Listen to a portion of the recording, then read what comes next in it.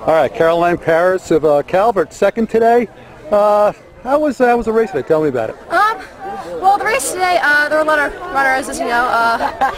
In the beginning, I tried to stay back a little bit. I didn't want to get sucked up and, uh, and all the, the runners that go out too hard. And uh, towards the middle of the race, I just tried to pick some of the runners off. Uh, and then it came to a pack of like me, Rachel um, Labatt, and then Rachel Zellman. Uh, we kind of stayed in a group, like a trio for a while, and uh, Rachel was kind of taking the lead, and uh, Rachel Labatt that is, and then Right. uh, Rachel Zellman and I kind of stayed back and tried to st- stay on her, and um, towards like the middle of the end of the race, uh, Rachel Zellman fell behind a little bit, and then um, Rachel uh, and I just tried to uh, just just pace each other and uh, Right. see uh, who would. Now she got you on that last kick in.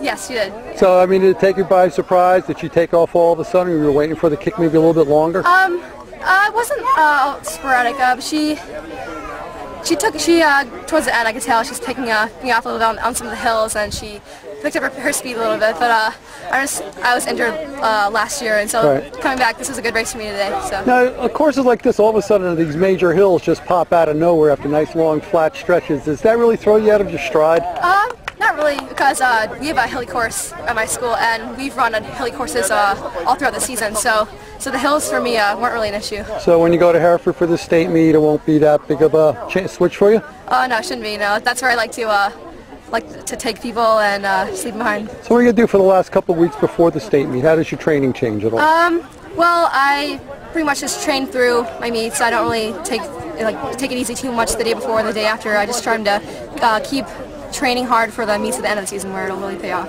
all right, thank you. Good job today. Thank you.